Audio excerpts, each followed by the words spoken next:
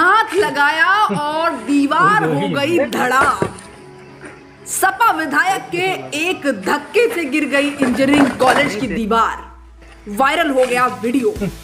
मामला उत्तर प्रदेश का है। उत्तर प्रदेश के प्रतापगढ़ में निर्माणाधीन सरकारी इंजीनियरिंग कॉलेज के निर्माण कार्य का सपा विधायक ने निरीक्षण किया। और इस दौरान विधायक के एक धक्के से ही दीवार गिर गई जिसका वीडियो सोशल मीडिया पर वायरल हो गया है।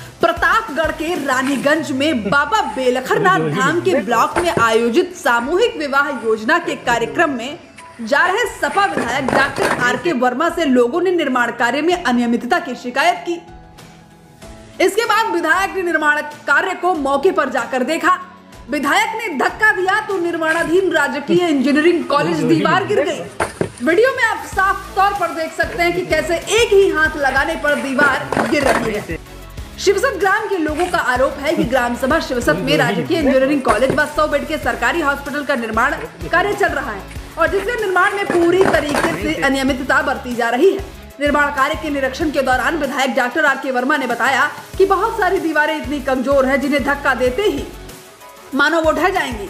जिसके बाद विधायक ने विभाग के विभागीय अधिकारियों को मौके पर बुलाया और जिलाधिकारी को भी जानकारी दे दी है। मौके पर पहुँचे अधिकारियों के सामने ही विधायक ने दीवार पर हल्का सा धक्का मारा तो वह गिर गई।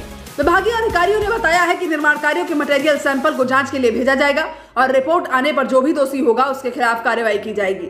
और इस दौरान ब्रजेश पटेल, विनोद वर्मा सहित तमाम लोग मौजूद रहे। इस वीडियो में जो भी आपको दिखाया गया है कि एक मात्र हाथ लगाने से दीवार ढह रही है, दीवार गिर रही है, ईंटें गिर रही हैं। क्या प्रतिक्रिया है आपकी? हमें कमेंट बॉक्स में ज़रूर बताइएगा। फ़िलहाल के लिए इस खबर में इतना ही। आप बन रहे हैं हमारे साथ।